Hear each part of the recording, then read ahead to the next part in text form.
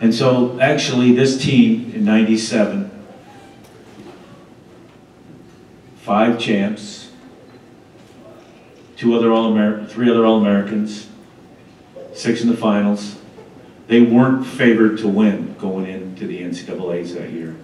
For some people that maybe can't remember, uh, Oklahoma State was the, uh, favored team. And to be honest with you, how favored they were is that they lined up the award winners, presenters, ahead of time. And the award winner for the runner-up was Bob Siddens because they knew that Bob Siddens would present me with the runner-up award. And so on Friday night, when it was mathematically clinched, they changed him from the runner-up to the champion. So you just you just never know. But the thing about this team was in in '94. Where's, where's is Tom Ryan still here? But in '94, I coached the world team, and even though I'd already been a coach for quite a while, I made a mistake. I worked him too hard, too long. And because of that, uh, in competition, we were still tired. And we didn't do that well at the 94. We had a couple medals. We were overseas in, uh, I think, uh, Turkey. And, but we just didn't, we had a, I didn't look at the team that I had and, and what they really, who they were. I came in at the end. We only had a two-week period for training because they were in Goodwill games. And when I got them, when I watched them practice, I thought they were nowhere close to being what they, and they hadn't done that well in that championships. So I worked them extremely hard, hoping that I would let up enough at the last week. But I, I didn't factor in all the travel. I didn't factor in that they weren't in very good shape. And so it's like it's going to be tough to get him in really good shape. I didn't look at the lineup and see what was in that lineup. We had several world champions in that lineup.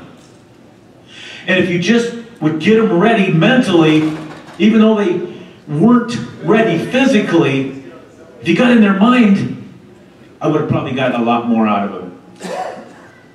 We would have had more than two medals, I can tell you that right now.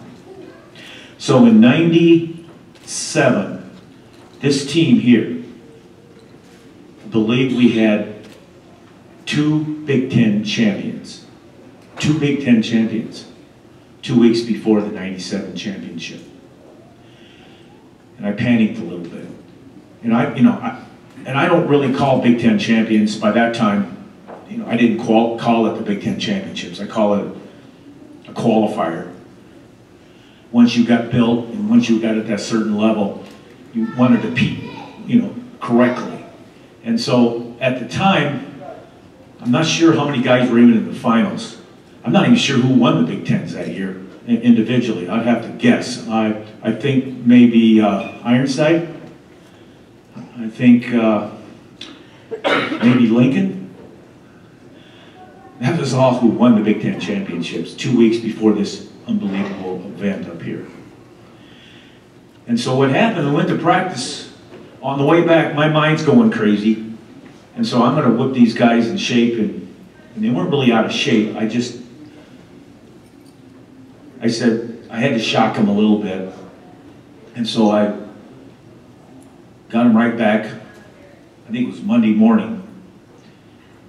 Got him up at 6 o'clock. Worked him out. Took him to practice. Went into my office spent some time on the phone. An hour later, I walked into the wrestling room and everybody was gone. I walked to the locker room, just like every night I did, cleaning up headgears and whatever was left.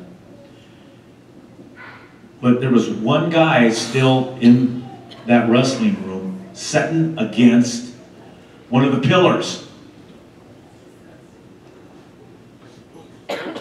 And it was this guy right here. I don't even know if you remember. Think he does. but everybody was gone, and I'd already had him getting ready to get up tomorrow the next morning, six o'clock, and he was sitting there. And he's probably, I would say, on the team, maybe the best conditioned athlete we had on the team as far as just conditioning at that particular time. And he was sitting against the pillar, and I walked in. What are you doing here? Why aren't you home resting, and getting ready for tomorrow? He said, Coach, I'm tired. I haven't recovered from the Big Tens yet. I'm really exhausted. I said,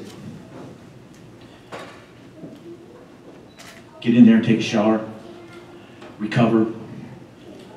I'll see you at 6 o'clock in the morning. I couldn't sleep that night. Over and over, I'm thinking. And finally, I came to the conclusion. And I looked back upon my career, and all of a sudden, 94 hit me. I got a great team. I got, look who I got on the team. I got several returning national champs and all Americans. I said, I just, I can't make the same mistake. I'm going to work only on their mentality in the next two weeks, not on physical workouts. So they came the next morning. They were there at 6 o'clock, ready to go. I got them out there in the room, and I ran them for a good warm-up inside the wrestling room. And then they, they looked ragged. And then all of a sudden I said, guys, hit the showers. And they looked at me like I was nuts. But that is exactly what was needed. And so then I had each guy on the team, instead of our the coach talking to them every day, they got up and talked to the team individually that week. And they said certain things. You know, actually, Ironside, I give you a lot of credit.